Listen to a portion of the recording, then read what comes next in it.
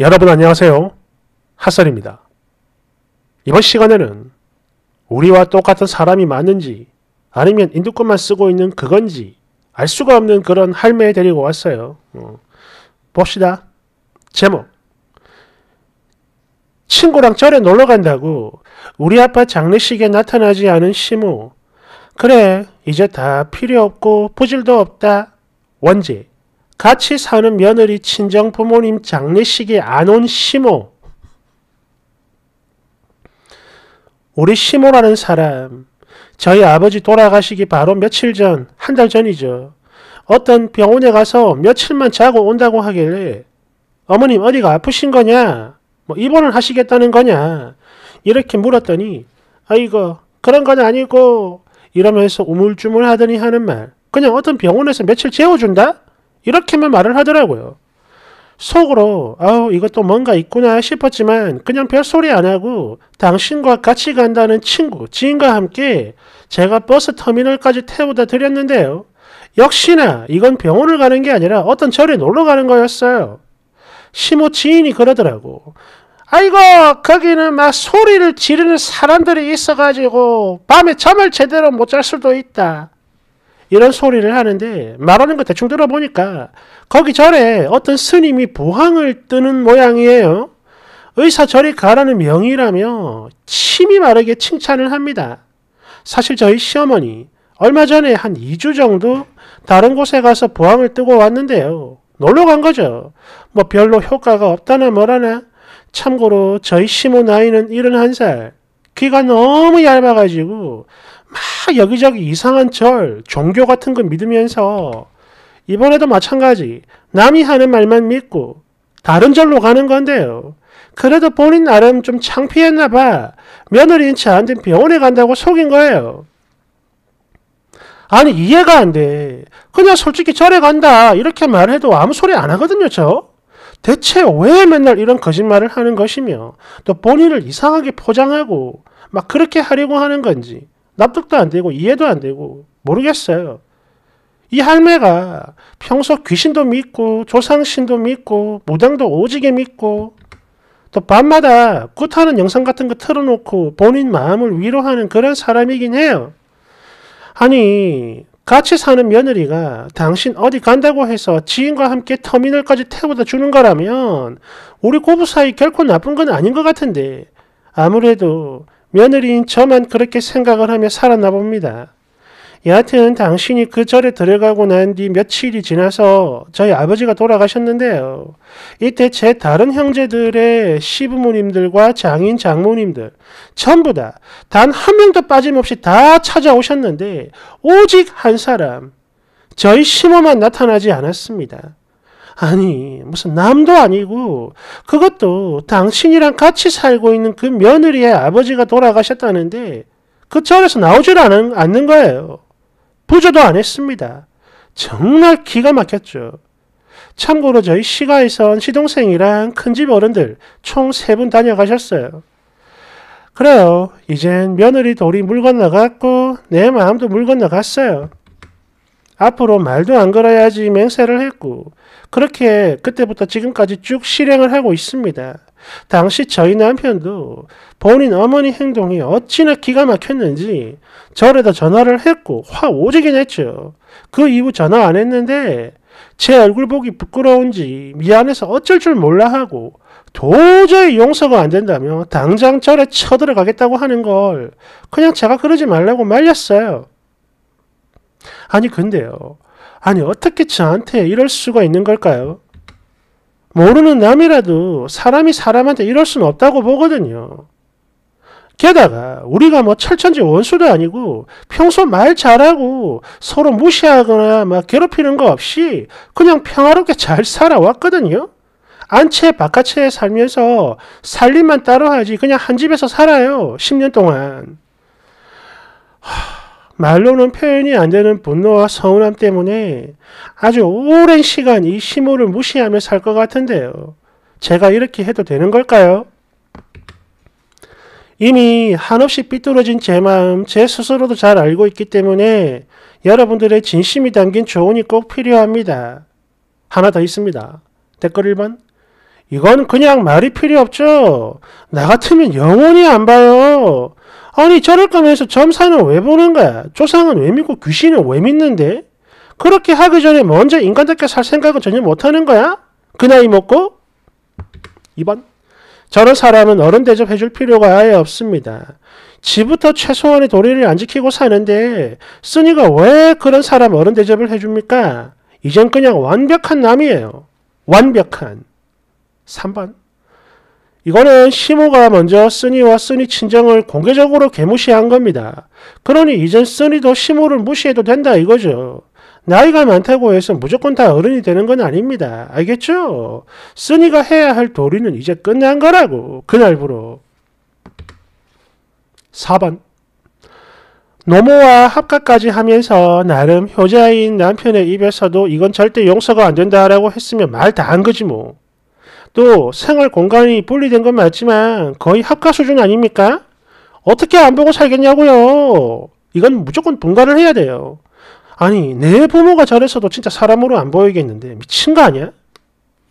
5번 아니죠. 쓰니 마음을 삐뚤어지게 만든 게 누군데요. 일단 남편은 왕래를 하든가 말든가 지 알아서 하게 하고 쓰니는 무조건 그 집에서 나오세요. 그리고 나중에 시모가 죽어도 상주 노릇은 아들내미한테 혼자 하라고 하면 됩니다.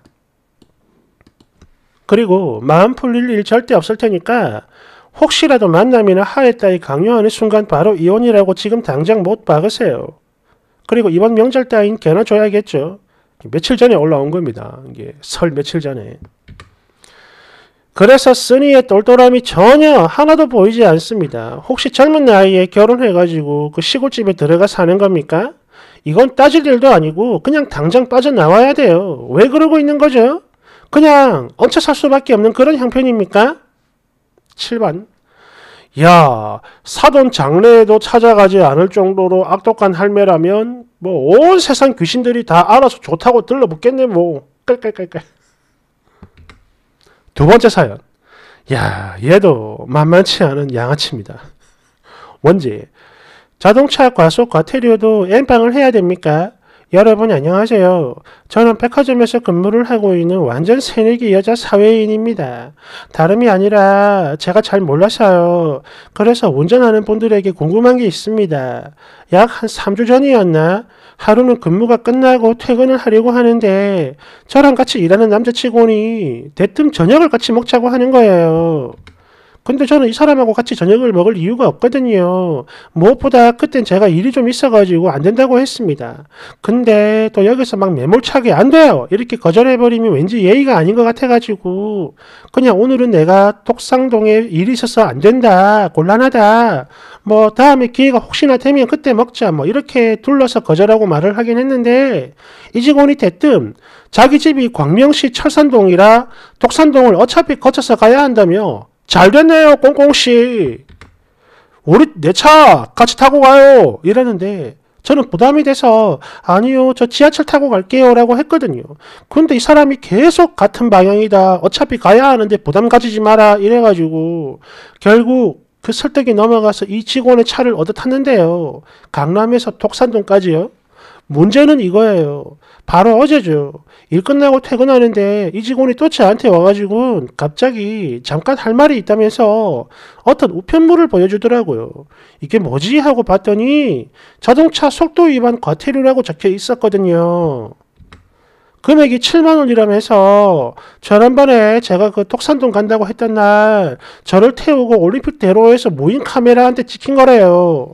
그러면서 본인은 면허 별점도 받아야 되고 과태료도 따로 7만 원이나 내야 된다고 뭐 이런 소리를 합니다. 뭐 그러면서 벌점은 뭐 본인이 운전한 거니까 본인이 알아서 하겠지만 과태료 7만 원은 조금 부담이 된다고 하면서 저한테 딱 3만 원만 달라고 하는데 제가 운전도 못하고 면허도 없어서요. 이게 정말 맞나요? 야, 댓글 1번. 미친 건가? 그건 아니죠. 과태료는요, 차량이 카메라에 찍히면 운전자가 누군지 식별이 안 되기 때문에 벌점 같은 게 없어요. 그냥 그 차주한테 과태료만 부과되는 방식입니다. 그러니까 그 직원 지금 거짓말하고 있는 거야. 벌점 1점도 안 받고요. 그리고, 아니, 지가 먼저 같이 타고 가자고 한 거고, 또 지가 과속한 거라 100% 본인 과실이거든요?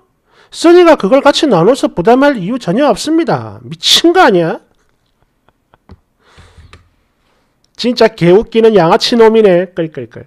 아니 지가 타고 가자 그래가지고 탄 거고 또 지가 과속을 해서 걸린 건데 이걸 왜 나눠서 내라는 거요? 그리고 뭐 벌점 연병하네. 쓰니 이런 양아치는 절대 상대조차 하는 거 아닙니다. 휘휘 멀리 멀리. 3번 일단 돈을 안 주는 것도 너무나 당연한 거지만 그걸 떠나서 앞으로 절대 두 번 다시는 저 남자와 엮이지 마세요. 진짜 최악입니다. 절대 주지 말고 혹시 아니지 주변 다른 직원들한테 그냥 하소연을 하세요. 야, 지가 억지로 가자고 했으면서 나한테 이러고 있다. 나 너무 무서워. 하면서 울먹이면 더 좋고요. 그리고 앞으로 업무 외에는 절대 말 한마디 섞지 마세요. 5번 무인 카메라 단속은 별점이 벌점이 없고 4만 원이 보통이거든. 그런데 7만 원이 나왔다는 건 속도를 오지게 냈다는 거네. 한 20km 이상인가 그러지 않습니까? 어. 아니 근데 이거는 왜 동승자가 반띵을 해야 되는 거요? 게다가 쓰니가 뭐 태워달라고 사정을 해서 태워준 것도 아니고 안 된다고 싫다고 거절하는 사람 허세 가득 지가 억지로 태웠으면서 말이지. 그리고 과속도 지가 한 거 아니요? 그럼 지가 책임져야지. 장난하나? 6번 내 가족들 중에 경찰이 한 명 있는데 이런 경우에 주는 게 맞는지 한번 물어보겠다라고 해보세요. 바로 꼬랑지 내릴 겁니다. 그나저나 이 새끼 딱 보니까 완전 상습범이네. 쓰니 혹시 그 날짜랑 시간 제대로 확인한 거 맞아요? 저놈 저거 지 혼자 달리다 걸린 거 그 돈이 아까워서 반띵하려고 일부러 쓰니한테 접근 유혹해가지고 공문서 위조한 걸 수도 있어. 야 만약 이게 맞다면 진짜 사람 아니죠. 어. 7번 회사 사람들 한 명 한 명 모두한테 다 물어본 뒤에 다수결을 따르겠다고 웃으면서 말해보세요. 뭐라고 하는지 보자. 근데 이럴 수도 있어요. 지금 이 쓴이가 면허도 없고 완전 사회초년생 애기야. 어. 이런 거 잘 모르잖아요. 어. 그런 거 막 일일이 확인도 안 할 수도 있고. 그 대충 이 남자가 지 혼자 달리다가 찍힌 건데 어. 예를 들면 어, 쓴이랑 같이 가자고 한 그 전날이라든지 어.